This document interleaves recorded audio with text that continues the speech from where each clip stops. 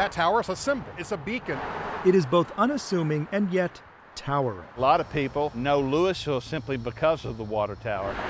Because it's been a part of the city's skyline since 1960. I see a lot of memories. Just feels like a part of you is, is going away. Gary Kerbow also sees his childhood when he sees the Fighting Farmers Water Tower along I 35 with letters many feet long. Eight and a half, taller than me. Wow.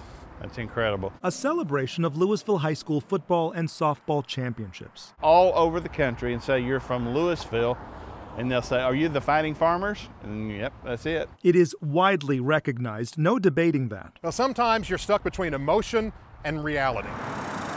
And reality is the idea of keeping it simply doesn't hold water anymore. James Conkey with the City of Lewisville. There's things you don't see from the ground some of the welding, some of the wiring, uh, the lining inside the tank. And the toll of the blistering Texas sun.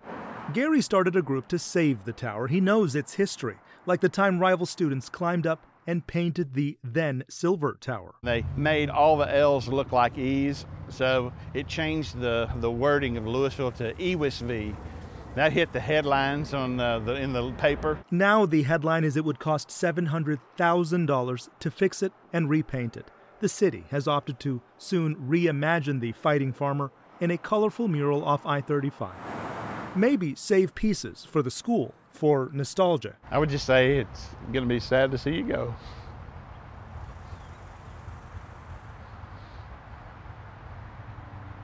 I don't really know what else I could say to it. Gary has made peace with the tower coming down. The city has too.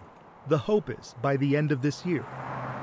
In 1960, Lewisville had 4,000 people. Now it's 114,000. And nearby I 35, it was four lanes, two lanes either way. Everything has changed.